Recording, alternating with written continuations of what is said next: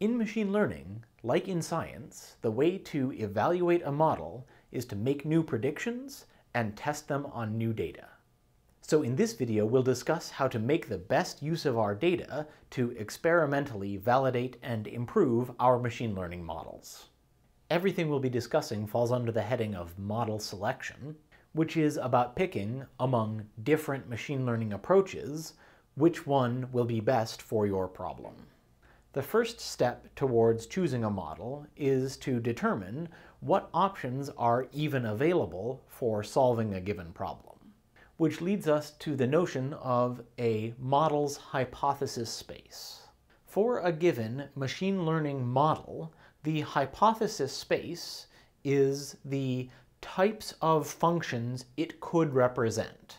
Remember that when we train a machine learning model, we are trying to choose among many possible functions the one that best represents our data. And so the hypothesis space describes the sort of functions that could be the result of our training.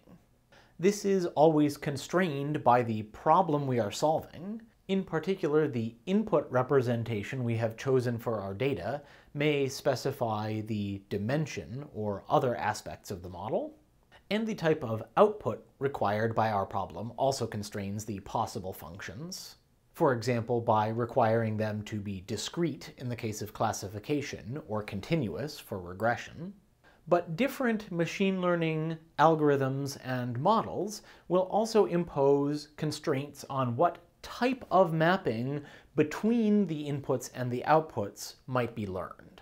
For example, when we looked at single neuron models, the sigmoid classifier always identified a linear decision boundary, and that's a very rigid constraint on the sort of function that could map the inputs to the outputs.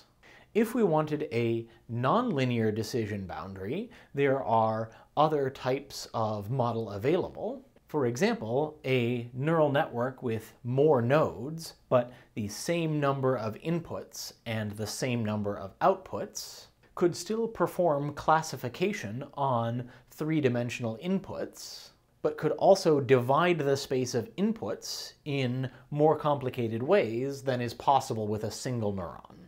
So thinking about the hypothesis space of a particular machine learning model can serve as an important starting point to deciding whether it's appropriate to the problem that we're solving. But once we've chosen the type of model or the machine learning algorithm that we want to use, there remain a lot of aspects of the model that can be tuned.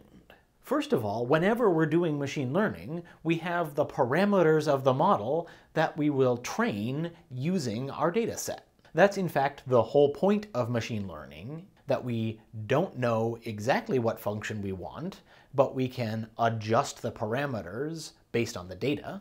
And in the case of the single neuron models that we've seen so far, the parameters that got updated by the training were the weights and the bias of that single neuron.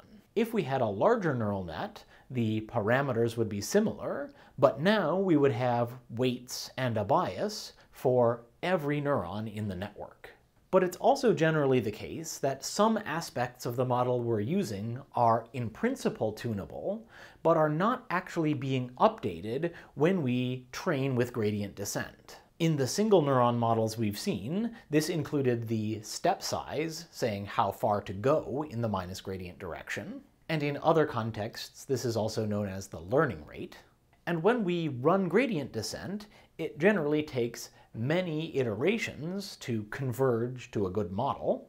But we can think of the number of iterations for which we will run gradient descent as another hyperparameter something that we could tune, but is not being directly decided by the training. As our models get more and more complex, we will have more and more hyperparameters available. As soon as we start thinking about neural networks, we'll have to choose the number and connectivity of nodes in the network. And when we're talking about nodes that aren't directly producing the output of the network, we may have a choice of which activation function they should use. And over the course of the semester, we'll encounter many more hyperparameters of deep learning models. some of which will have very large effects, and others of which will have effects that depend greatly on the particular problem we're solving. So if we have many possible options for how to set the hyperparameters, or what class of model to choose, we would like to have a systematic way to explore those options and to experimentally test which ones are more effective. And this now lets us define the model selection problem, which is about choosing between different plausible models which one will be best at representing our data set. And this is closely related to the idea of hyperparameter tuning, which is about selecting the values of the hyperparameters that will best represent the data. And my phrasing here is deliberate because these are fundamentally the same problem. There may not always be a clear difference between what constitutes a hyperparameter and what constitutes a different class of model. Sometimes when we talk about different architectures for deep learning, we'll have different ways of organizing the nodes in a neural network, and we'll think of those as different classes of model.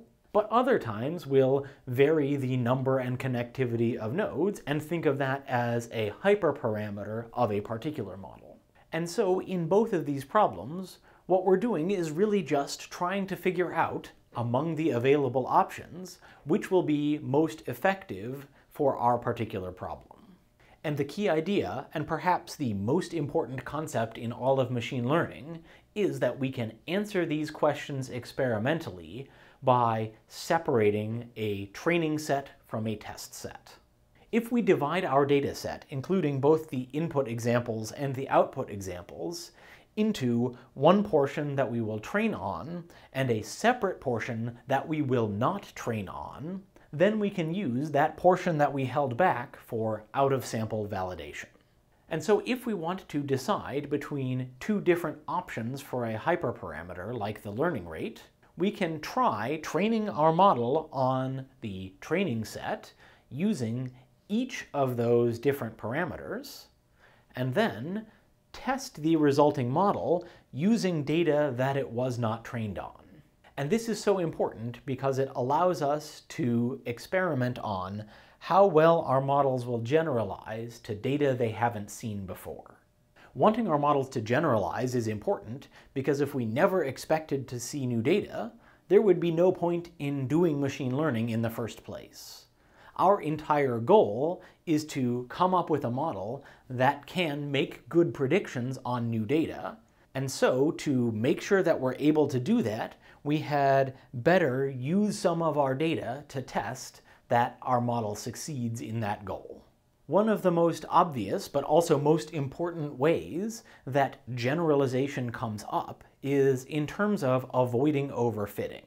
Overfitting is the idea that a model can be trained to be too specific to a particular data set. Here we have a data set with one-dimensional inputs and one-dimensional outputs represented by the black points, and we have two different candidate models trained on the data set. If our only goal were to accurately represent the training set, the blue model would be perfect because it hits every single one of our data points. While the red model has a fair bit of error on almost all of the data. But if we were to guess how well we think these models will generalize to a new data point that they haven't seen before, it seems more intuitive to me that the red model might actually be a better prediction than the blue model that has curved way beyond the points it's seen just to fit them exactly. But that intuition that the red model might generalize better than the blue one is way less valuable than an actual experiment that demonstrates which of these is better at predicting data it hasn't seen. So in this case, instead of training on the entire data set, we could randomly pick a couple of points to leave out of the training, and then after we run our training algorithm on all but those points, we can ask, which model got closer on the points we held back. A good rule of thumb for how much data to leave out is an 80-20 split. There will absolutely be problems and models where we want to do some other split, but this is usually a good starting point. And we can also compare not just two specific models, but many different possible values for the hyperparameters that we think might make a difference. Sometimes it makes sense to systematically explore all of the possible values of a hyperparameter, but if there are multiple hyperparameters we think might be important, then exploring all possible combinations can be incredibly time-consuming. So the approach that I recommend is to begin by figuring out the plausible range for each hyperparameter.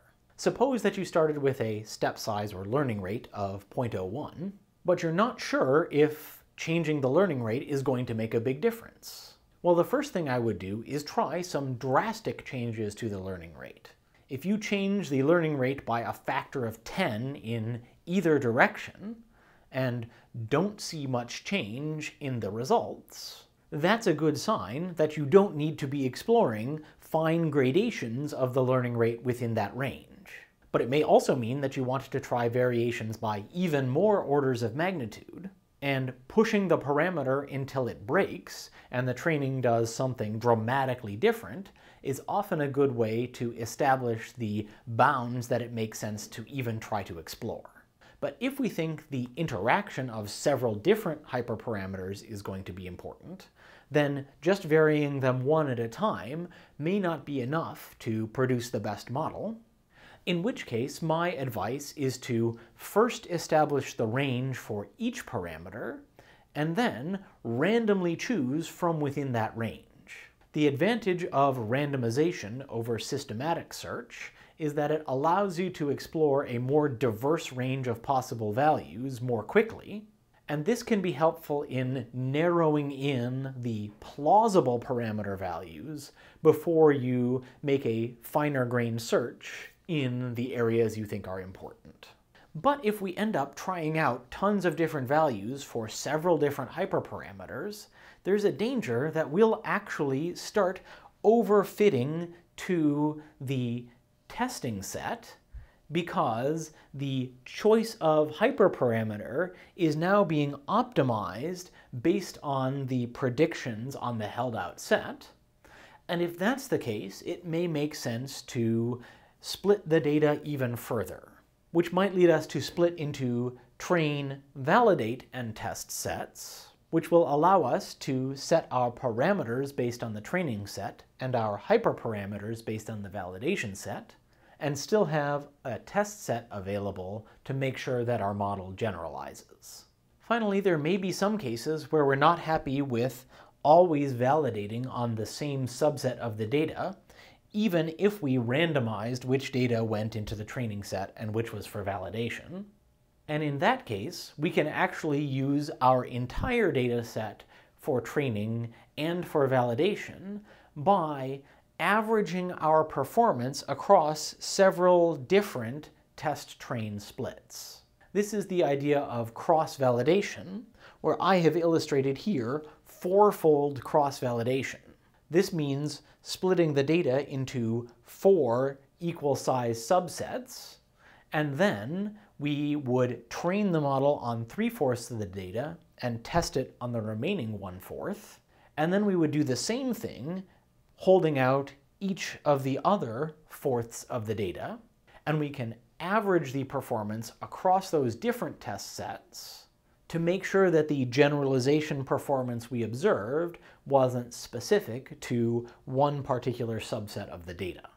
But cross-validation can also be expensive because it requires us retraining the same model several times on several different data sets, and so often it will suffice to just split our data into training and test, or training validation and test sets.